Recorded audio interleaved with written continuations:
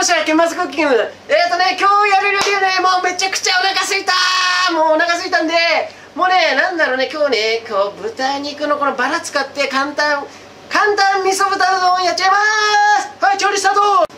あ今日はねちょっとお腹すいたからもうチャチャチャって簡単にねちょっとスタミナもつけたいんでまあニンニク2個ぐらいこう切っちゃいます。はいよいしょよいしょ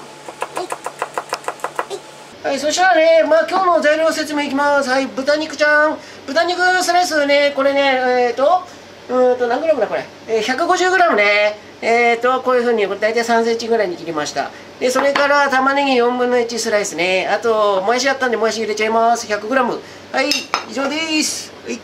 あ、そしたらね、今日もね、慌てないようにね、まずね、調味料をね、合わせ調味料作っていきます。今日ね、味噌豚丼ってことで、今日はね、簡単にいきますよ。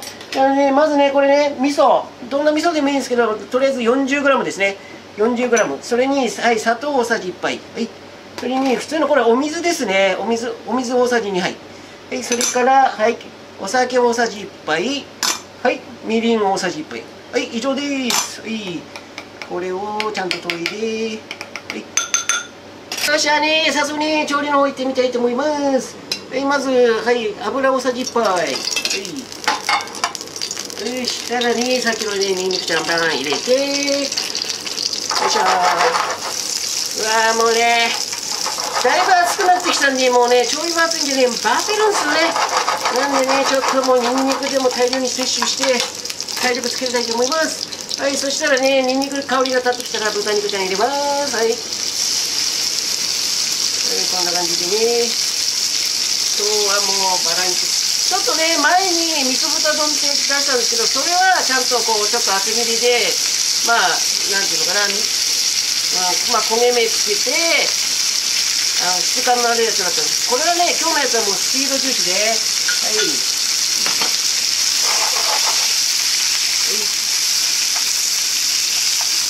こんな感じですわあもうめちゃくちゃいい匂いしてる。もうガーリックのね。最高ですよ。はい。よし。いい感じでねこうやってね豚肉に火が通ったところでまず玉ねぎ。ねはい玉ねぎ投入。はい。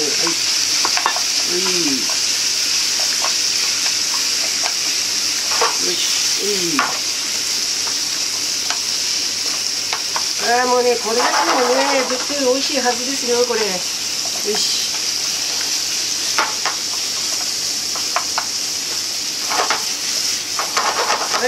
ゃあね玉ねぎがね少し透明になってきたところではいもやし投入、は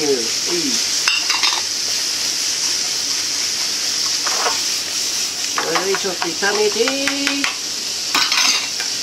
ちょっとね豚肉にねこのなんだろうね味噌なんでちょっと濃い濃いなと思ったんでちょっともやしでねちょっとアクセントでちょっとさっぱり感を出したいと思います。野菜に8割ぐらい火が通ったらはい先ほど作った合わせ調味料ね。はいこれたっぷりはい入れます。はい。いい感じに炒まってきましたね。い。で最初ねこのやっぱみりんとお酒入ってるんでまあそれをがあのアルコールが部分を飛んでいい感じにこうやってね手に出てきますよ。それと同時にねた、ま、あのお野菜の方も最初8分目ぐらいの火の通りだったけどこうやってこうしっかりね玉ねぎのシャキシャキが残ってねいい感じになってきました。もうちょっと締めますかね、こんな感じでね。だいぶ照りが出てきましたよ。タレもねだいぶ詰まってきてこのぐらいでこんな感じの質感になってきたらはい完成です。はいそしたらね熱々のご飯の上に出来たてのこの豚肉ちゃんをぶっかけちゃいます。はい。はいうわうまそう。もうニンニクの香りパツンと効いてます。はい。はいそしたらねはい。はいそしたらねごまちゃんパーンってぶっかけてはい。はい、色目にね、これあってもなくてもいいですよ。はい。あのネギなんか散らしたら、はい。今日の簡単丼ね、えー、超簡単味噌豚丼の完成です。やっほーはい、早速ね、食べてみたいと思います。今日のこれね、味噌豚丼、チャラシャーって作ったけど、めっちゃ美味しそうこんな感じ取れてるかねこれ。うわーうまそうだねこれじゃあね早速ね食べる前にね今日もね恒例のねこいつやんないとねいきますよ。今日も皆さんお疲れ様でした。乾杯！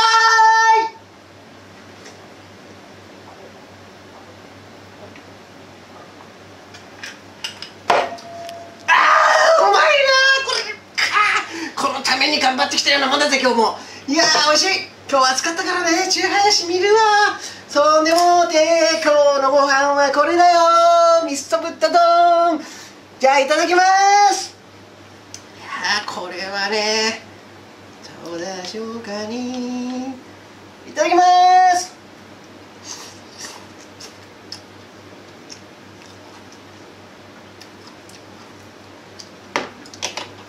おいしい！もうねこれまずいわけないんですよね。だけどああ予想通りねこれね玉ねぎと豚だけでも全然美味しいんですけどこれもやしでどうかなと思ったんですけどもやし正解。このねこういうのになうん。こういう味にねもやしがちょっと入ることによって結構ものすごいバランスがいいです。でまあねこの玉ねぎとの甘さと豚肉のコクね。であのもやしのシャキシャキ。もうこれは本当にバランスめちゃくちゃいい。うんおいしい。もうね以前やったね。味噌豚丼。あのなんていうのかな。ちゃんと焼いて焦げ目つけてその焦げの香り。で厚切りっていうのを前前ちょっと出したんですけどあれもめちゃくちゃ美味しいんですけど今日のこれはもうそのまあ短時間でシャシャシャって作ったやつなんですけどまあねこれはこれで美味しい。もう最高です。これね皆さん簡単なんでやってみてください。えー、今日の、えー、簡単味噌豚丼まあパート2って感じかな、えー、大成功です。皆さんありがとうございました。ご視聴ありがとうございます。